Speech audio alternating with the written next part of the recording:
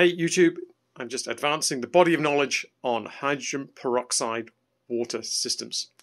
Um, I have a well. This is the uh, pressure tank on the well, and it fills up and then it goes basically through this blue tube now. Originally, it went straight into this as the Filox, which is a removes iron and manganese. This is the water softener, and then it goes into the distribution system. The problem is the well has uh, iron 2 oxide, so iron 2 is water soluble doesn't get hit by filters and my Filox system was not removing it all.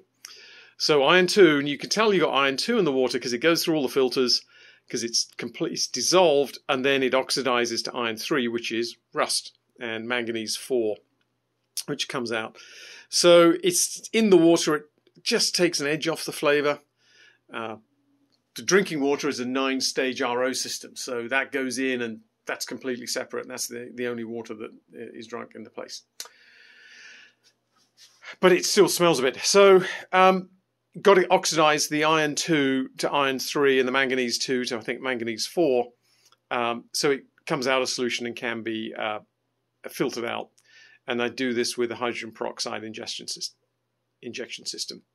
Uh, this is the hydrogen peroxide. It sits there in a tub.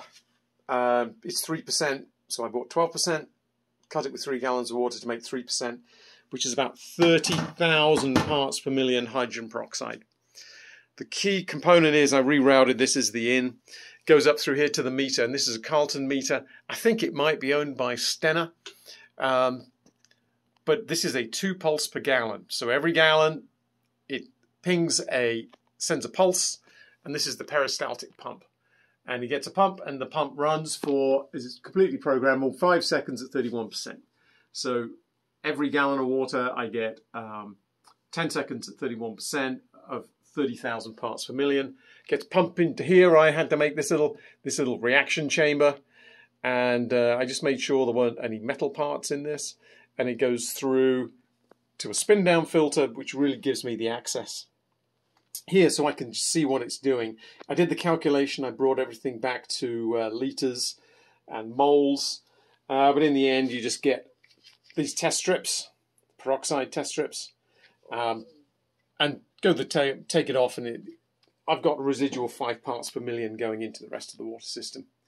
Uh, so this is pretty easy. Uh, pick up a pump, um, pick up a water meter, comes with this, you build this thing, uh, and it goes through the pump, and the water is all all the iron and manganese is gone, and um, just juices the water up a bit.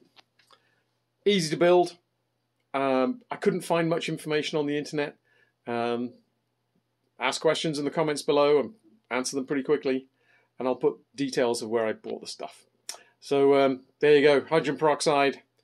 It's actually very simple. Um, so thanks for watching and good luck.